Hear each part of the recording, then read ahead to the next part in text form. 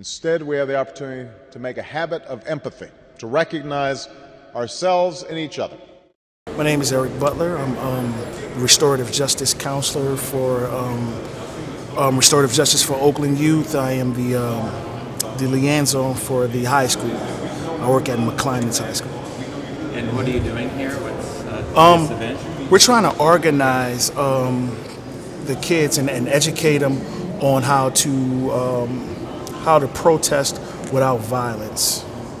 Um, and it's and, and it's and it works well in empathy because um, we have to kind of put ourselves in their shoes and and um, and find out and actually learn. I'm not I'm not from Oakland, so I have to learn the culture and, and learn where they're coming from before I, I can even give an opinion.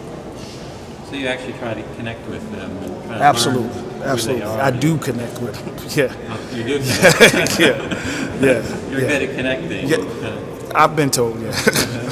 and what is it that you do? What's kind of Well- how do you go about empathizing? well, um, in in the school, I'm, I'm I'm supposed to be teaching restorative justice to the school, but being that the school system, well, well, the school that I work at, they don't have counselors, so I kind of played a role as a counselor.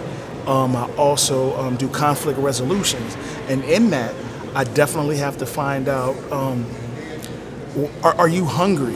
Is, is that a, could that be a reason why you're so upset? So I have to put myself in a position where I have to empathize with them um, because, and, restorative justice is, is, is coming from a place of empathy um, rather than um, a place of punishment. So how did you learn about empathy? Was there some lessons you learned in your life Oh, that made you goodness. kind of interested in that? Well, well, actually, um, I'm, I'm a Hurricane Katrina survivor. Um, th- through that process of just being angry and, and at, at everything that happened, I had to understand the, um, the the government's point of view. Although I don't agree with it, I definitely had to sit back and understand um, how is it um, that there was no support for us. Well, what happened in, in, in that position? Um, my, I, I lost family members, and so I had to really take a step back in order to be able to uh, eff- effectively uh, approach that situation um, in, in a positive way. So, so I won't be in trouble, of course. So you kind of learned empathy from having gone through Katrina. um, Well, and well I, maybe I've, from living, yeah, from, from, from just from, from just living day to day, um, um, being being empathetic at teachers when I was a kid, um, understanding that um, they have a job to do, and a lot, and oftentimes they don't have time for the one-on-one. So, in, in, in order to be educated as a kid, I had to be um, empathetic with, um, with, with, with with people that was over me or was supposed to be over me.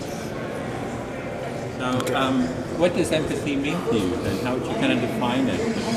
I, I would probably define it simply as um, walking in somebody else's shoes, um, understanding, uh, uh, understanding where they come from before you decide to judge. No matter how how, how concrete it seems, there's always um, layers and layers of, of, of, of things that come before what you're actually seeing.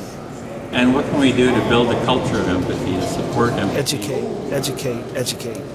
Um, we, we need to talk to the. Um, we we have a, a culture here in Oakland um, where, where where people don't empathize with other people. It's it's it's a it's a me first type of situation here, and um, we, we have to educate. And, and the people that know better definitely have to get out there and, and not be afraid and, and talk to our kids.